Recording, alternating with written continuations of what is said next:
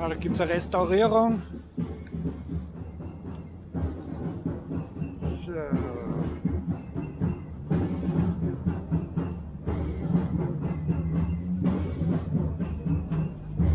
Sie müssen nicht auf mich aufpassen. Danke. Ja, was haben's? Da ist nichts drauf. Drauflegen, oder?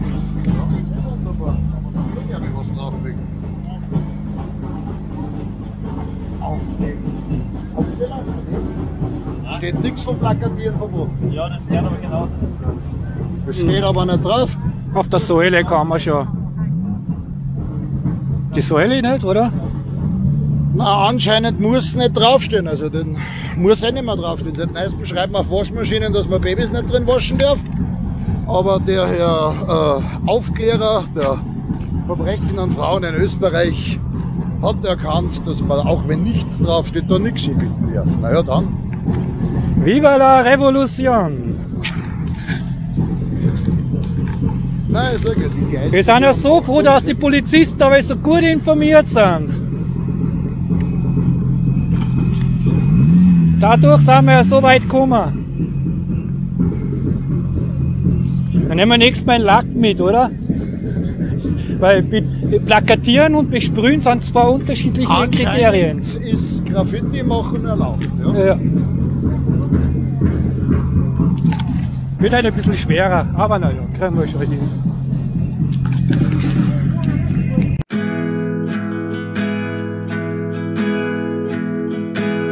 Die Gedanken sind frei, wer kann sie erraten? Sie fliegen vorbei wie nächtliche Schatten.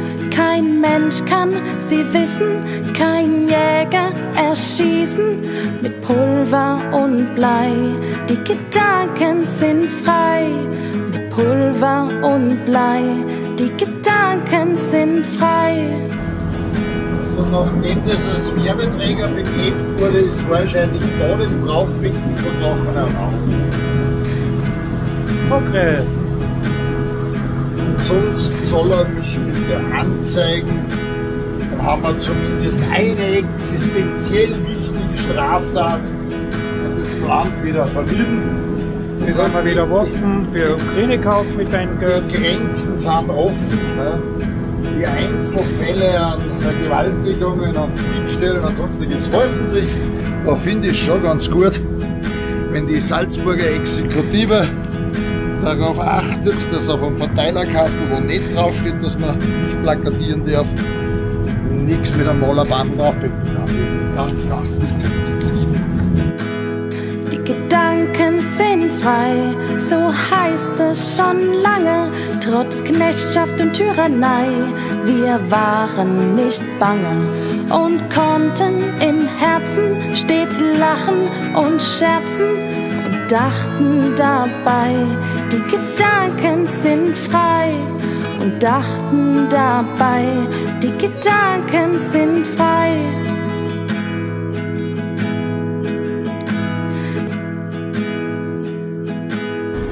So eine tolle Signalfarbe, damit kein Psoffener da gegen diesen Stempel rennt. Wie gesagt, ich gehe eh nicht davon aus, dass es irgendeinen Sinn hat, weil jetzt, wo man ja wieder eine Stunde länger schlafen darf in dem Land, wird das ja eh wahrscheinlich wieder von Menschen runtergegrenzt oder wie gesagt der Kopf oder wo Oder wie gesagt, das ist ja alles okay. Das kann man ja. So, damit der Kopf sich richtig aufregen kann, machen wir da jetzt einfach noch Aktion genug.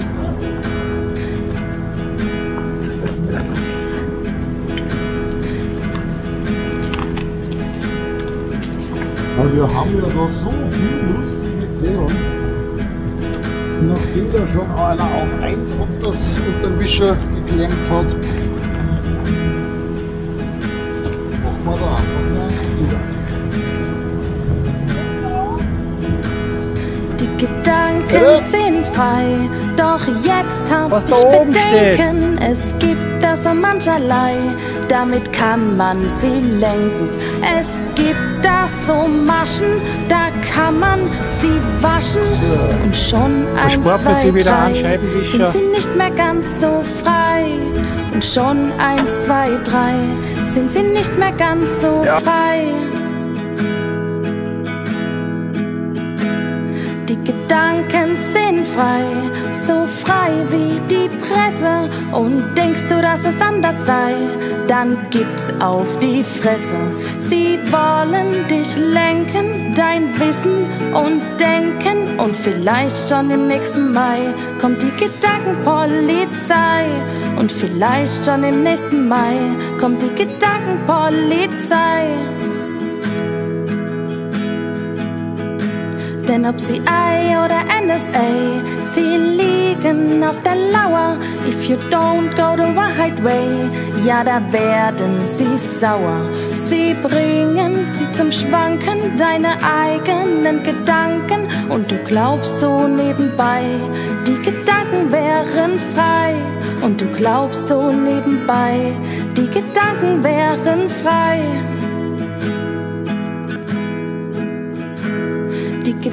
Gedanken sind frei, solang sie nicht stören, doch auf Verderb und Gedeih. Weißt du, wem sie gehören? Monsanto und Banken und den Öllieferanten, den Algorithmen von Google. Besser gib dir die Kugel, dann ist alles vorbei. Die Gedanken waren frei, dann ist alles vorbei. Die Gedanken waren frei. Die geneigten Seher, also die 25 oder so, die sich dann so einen Spaziergang wieder anschauen, die dürfen das natürlich gerne nachahmen. Ne? Werden es natürlich nicht, ist mir schon klar. Aber die Option bestünde. Ne?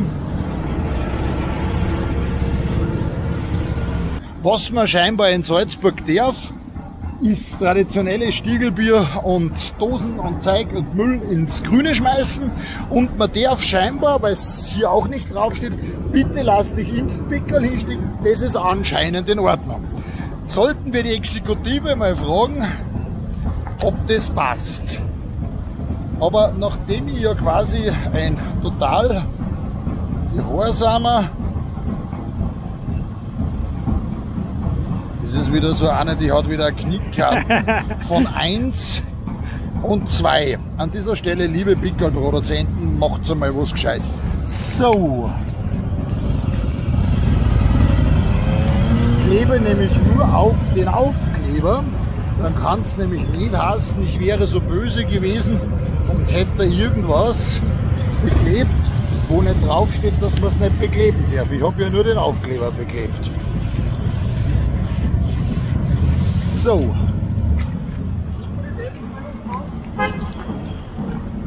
Da klebt ja schon einer drauf. Das war anscheinend ja dann okay.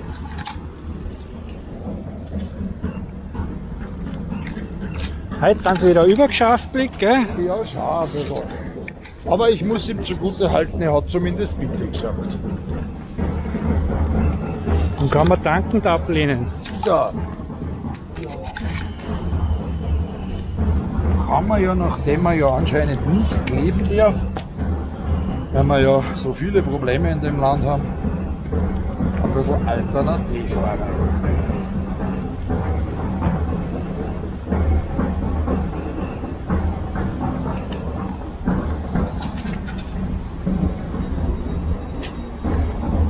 Da passt das Musikstück, äh, die Gedanken sind frei wieder super dazu.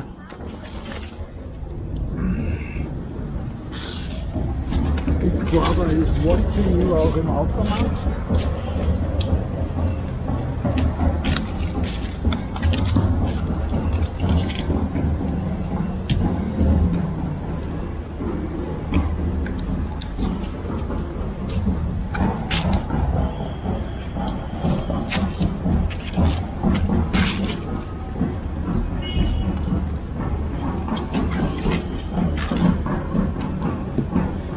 Ein Wiener, glaubst du, sollte man dem zwar aufvertrauen, weil bei denen herrscht ja die Pandemie noch hochgradig.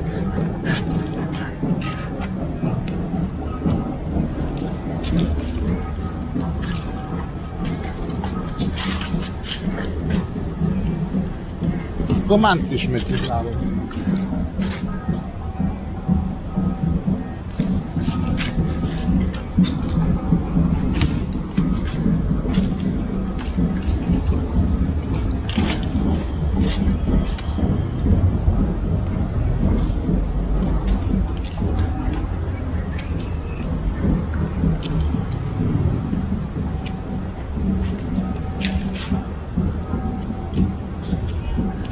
Ja, auf so einen alten Downhaus, das passt natürlich. Ei, ei.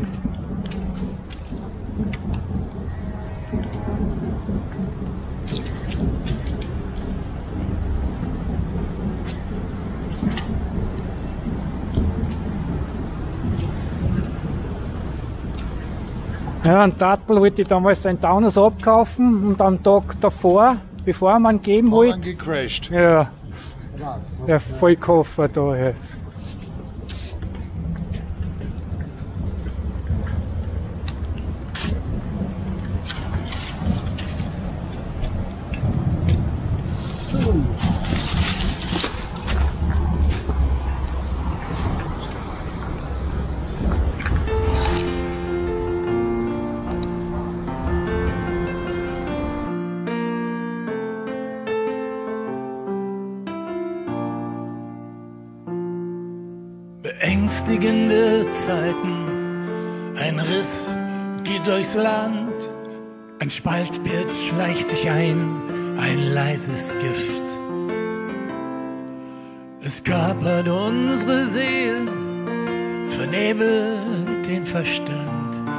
Und lässt die still verzweifeln, die es trifft.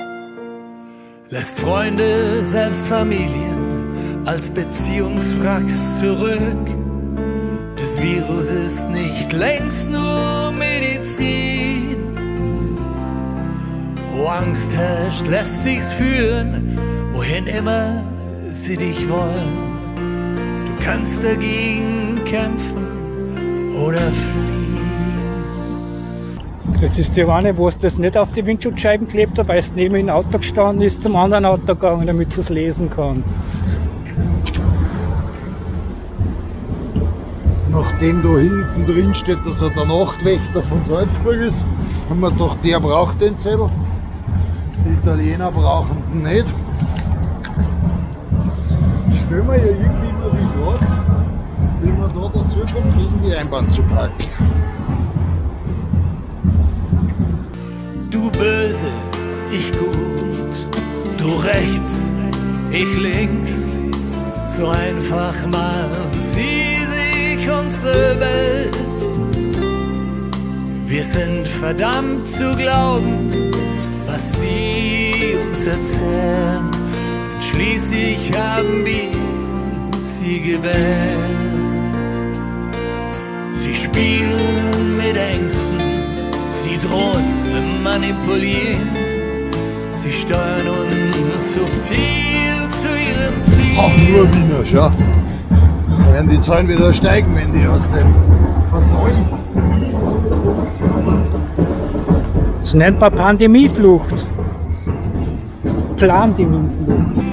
Wer aufmuckt, steht am Pranger, wird still, isoliert. Sagt ihr das bekannte Spiel? Wir spielen nicht mehr mit, wir scheren jetzt aus, gebrauchen unseren eigenen Verstand. Es geht um mehr sonst,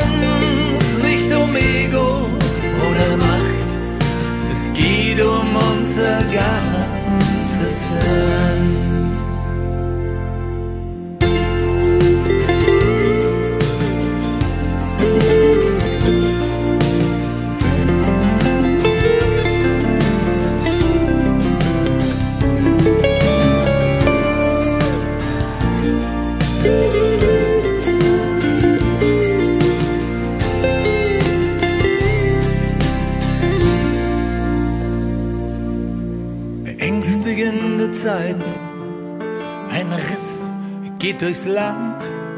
Wir sind nicht mehr bereit zu akzeptieren, dass ihr uns weiter spaltet in gute und in schlechte, denn damit können alle nur verlieren.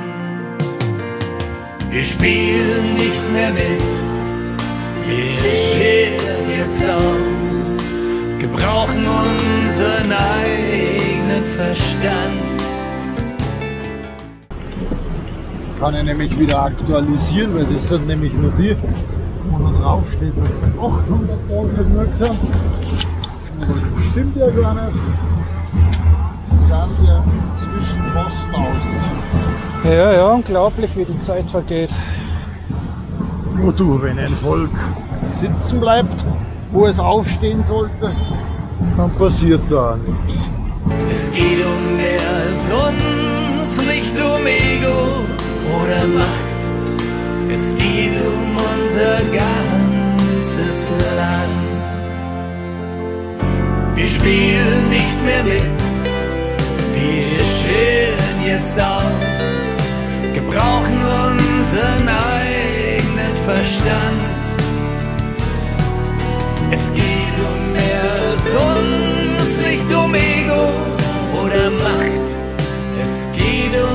unser ganzes Land.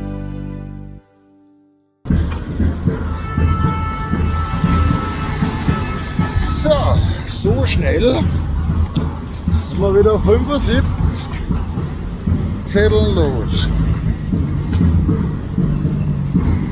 Aber die sind auf zweimal, einfach.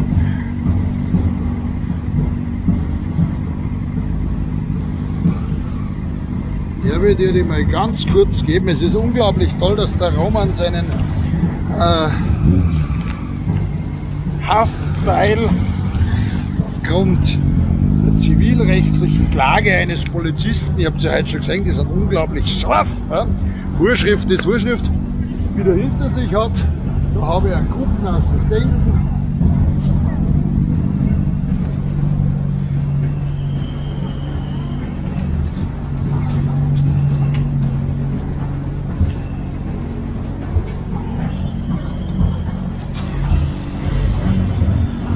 Okay, da haben wir jetzt einen Tiroler, ha? da clashen's. Eigentlich braucht man am Tiroler ja gar keinen Zettel und einen Wischerklemmer, weil der Freiheitskampf im Heiligen Land hat sich ja einmal mehr bei der letzten Wahl gezeigt. Aber damit es nicht heißt, wir betreiben Spaltung,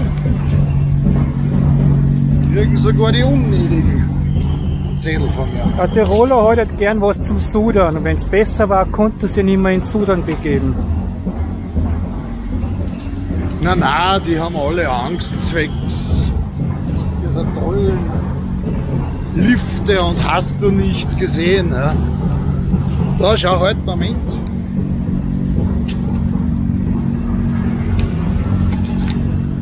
Müssen wir aber upgraden, ne?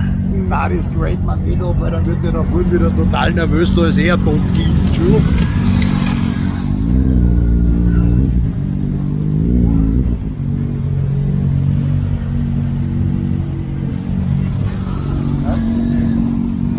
Ja, was gesagt, plakatieren ist verboten, oder? Ja. Naja, dann habe ich da jetzt einen total tollen Einfall.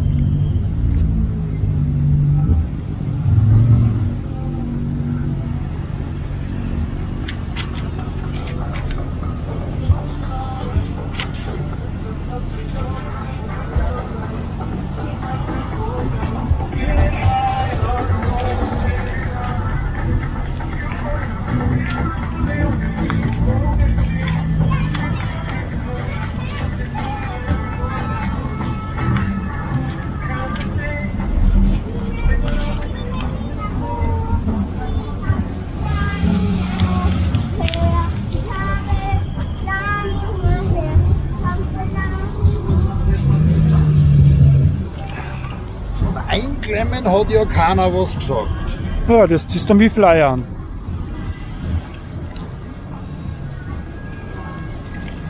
Nein, ich will nur sagen, dass man stets politisch korrekt sind.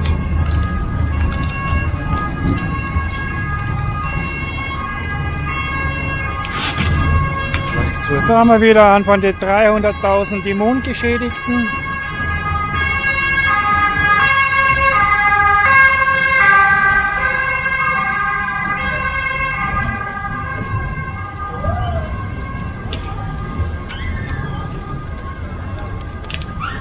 Weißt du, wenn alle gleich sind und manche sind gleicher, und das heißt, wir im Lockdown sind und unsere Politiker zu Leibesleib im Bock, Bockschall wackeln, dann finden wir einfach eine Lücke und machen das so.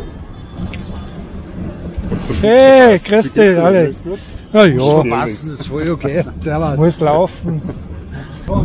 Von verbotenerweise, wenn man die einfach an Kosten, wo nicht drauf sind, wo nicht plakatiert werden, nichts hinfinden. Weil da haben wir dann sofort wieder eine unaufgeklärte Vergewaltigung oder so. Das nächste Mal nehme ich einen Lackstift über die Nervenscheibe. Ja, das hält mir besser. Hey, Roman, Vorsicht, der ganze Karton Corona. Und gleich daneben eine chinesische Box, bitte schau dir das an. Das ist, das ist sicher Wuhan. So, gleich ins Sterilium baden gehen. Oh, Corona.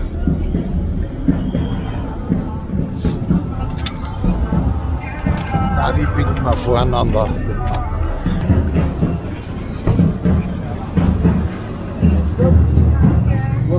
Adrenalin ist da. Hi. Gibt's Neues von mir aus? Hätten wir schnell. Ja.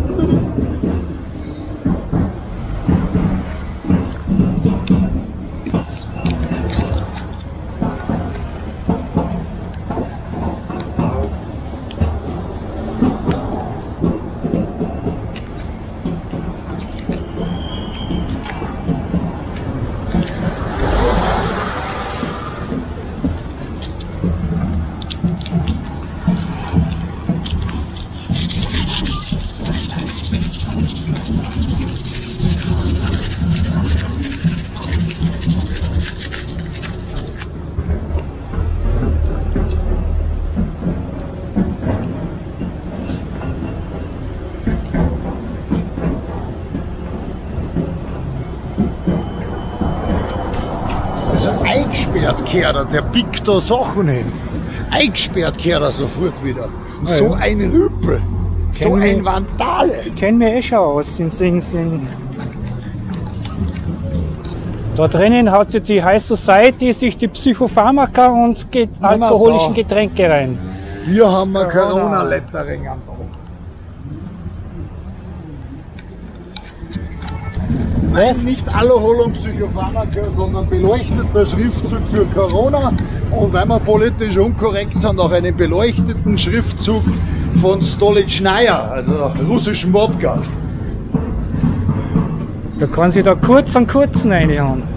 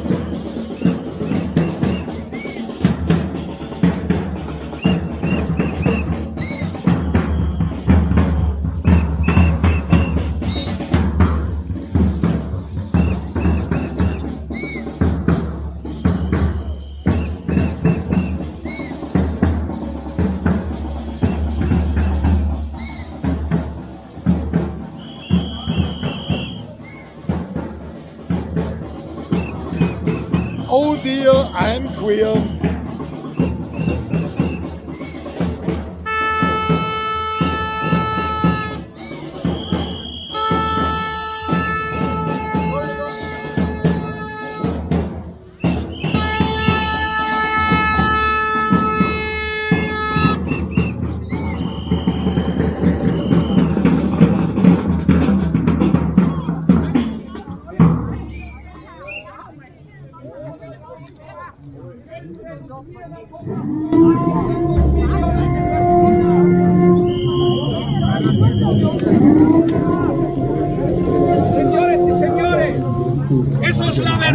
Im Zeiten der Corona-Pandemie wurde erhöht die Gesichtsmaske gegen Journalisten und die Signore. einfachsten und wirkungsvollsten Schutz vor einer Covid-Infektion. Nicht nur aus diesem Grund macht der deutsche Bundesgesundheitsminister Karl Lauterbach weiter Druck, um wieder eine Maskenpflicht zumindest in Innenräumen einzuführen. Dabei werden Untersuchungen völlig ignoriert, die zum Ergebnis kamen, dass die Zwangsgesichtserhöhung keinerlei Einfluss auf die Anzahl positiver PCR-Tests hat. Das kann als Beleg dafür angesehen werden. Signora, Signores. Claro, in allen Sprachen. Gesundheitsschutz geht, sondern etwas ganz anderes. Also, also auch gendern, oder was? Wieso gendern? Das ist ja auch eine Sprache, oder? Wenn du sagst alle Sprachen, Naja, was ich kann halt. gendern hat mir noch keiner drei langt ja, oder? Drei Fremdsprachen würde doch lang. Mein Katalanisch habe ich jetzt nicht gemacht, weil die Chance, dass ich hier auf den Katalan treffe, ist eher gering. Ne? Die Katalanen verstehen auch Spanisch. Wir müssen sie ja wohl, Ja, auch wenn es ihnen nicht gefällt. ja. Das stimmt.